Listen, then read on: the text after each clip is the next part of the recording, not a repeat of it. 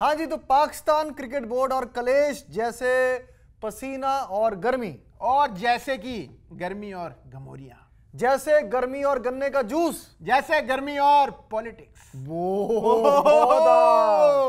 भाई देखो Pakistan cricket board में तो भाई बड़ा मसला चल रहा है। बहुत गहरा मसला चल रहा है क्योंकि रिप पाकिस्तानी डोमेस्टिक क्रिकेट ऐसा ट्वीट कर दिया है। उनके एक शानदार खिलाड़ी मोहम्मद हफीज। ने। अच्छा मोहम्मद हफीज भाई के साथ कुछ ना कुछ चलता रहता है। वर्ल्ड कप जब हमारे इंडिया में हो रहा था हाँ जी। तब इन्होंने ट्वीट कर दिया था कि क्या ये इवेंट बीसीसीआई ऑर्गेनाइज कर रही है या आईसीसी क्योंकि पिच ना कुछ ऑल्टर कर रहे हैं हाँ, हम लोग। हम पिच बदल देते हैं मैच के ब्रेक के दौरान। 20 मिनट का ब्रेक होता है। बटन आती है। हेलीकॉप्टर से हाँ, नहीं बटन दबाओ। बटन. शुप। ओहो आपने देखी है? भूल भुलैया। एंड में वो यू करके बदल देता है वो मोंजुलिका जिसको काटती है। इसी बात पे मैं कहना चाहूँगा हफीज भाई की नशे करना बहुत बुरी आदत है। बहुत बुरी बात है करने नहीं चाहिए बॉब इनके बेस्ट फ्रेंड रहे होंगे। ओ मिस्टर आ हाँ हाँ, ये दोनों सेम टाइम पे रहे बॉम्ब मार ले और ये ना मारे। हाँ ये ना हाँ हाँ, ये भी कोई गाल है यार। लेकिन भाई पाकिस्तानी क्रिकेट बोर्ड में भाई अलग ही मसला चल रहा है। भाई देखो मोहम्मद आमिर जो भाई मतलब आखिरी उन्होंने जो इंटरनेशनल गेम खेला था वो चार साल 2020 में हाँ। खेला था और उसके बाद उन्होंने कह दिया था भाई मेरे को कोई टी ट्वेंटी लीग नहीं खेलनी मेरा समय अब आ पर गया क्यों है। उनकी आदत है लाइन क्रॉस करने की? हर बार लाइन क्रॉस करते चार साल बाद। उन्होंने कहा नहीं नहीं नहीं नहीं अभी टी ट्वेंटी वर्ल्ड कप आ रहा है। हाँ। तो मैं अवेलेबल हूँ। अच्छा उनको देख के लगा वो इमाद भाई को इमाद इमाद वसीम, है भाई। एक और ऑलराउंडर है। ऑलराउंडर की कमियाँ पड़ रही है। मैं भी खेलना चाहता हूँ मैं। हम बहुत अच्छे से आता है। इसे बिल्कुल नहीं आता मैं इसे बड़े अच्छे से सिखा दूँगा। तो दोनों ने अवेलेबिलिटी घोषित कर दी कि हम अवेलेबल हैं और रिटायरमेंट से वापस ले हाँ। लिया अपना। यार ऐसे बढ़िया युवराज सिंह आ जाए धोनी आ जाए निकल के टी ट्वेंटी वर्ल्ड कप में है ना? मन में लड्डू फूटा। हाँ नया पर ऐसा हो नहीं सकता रियलिटी में आ जाओ। रियलिटी में तो यही है भाई कि भाई पाकिस्तान वाले जो हैं कुछ भी कर रहे हैं। भाई बाबर आज़म को धक्का मार के वर्ल्ड कप के बाद निकाल दिया था शाहीन अफरीदी और कौन थे वो? दूसरे शान मसूद। उनको कैप्टन बना दिया था अब वापस हाथ जोड़ लिए।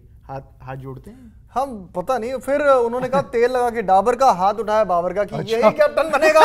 मैं आपने जैसे तेल लगाया डाबर का मैं तो बिल्कुल ही मेरे ना रूह काँप गई थी। तो ऐसे कलेश होते रहते हैं। उससे पहले कलेश एक और हो गया था। आ, वो कह रहे थे कि बाबर आज़म जो है वो पीसीबी चेयरमैन को फ़ोन कर रहे हैं। अच्छा। पर चेयरमैन फ़ोन नहीं उठा रहे उन्होंने हैं? हाँ। वो जैसे हमारे घरों में रिश्तेदारों में होता है मैं नहीं गाल करनी होते बुआ जी ने मैंने मैं नहीं गल करनी यार बुआ तो बोलो यार। और ये ये चीज़ लीक कर दी उन्होंने ट्विटर पे।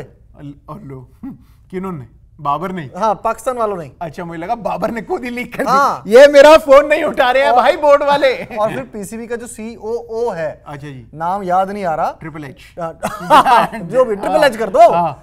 काल्पनिक नाम। का, आ, वही। तो उन्होंने बाबर भाई से पूछा ऐसा कुछ मसला है? तो उन्होंने कहा नहीं नहीं भाई ऐसा तो कोई मसला ही नहीं है एकदम टिटफिट चल रहा है मामला. सपना टूटा है।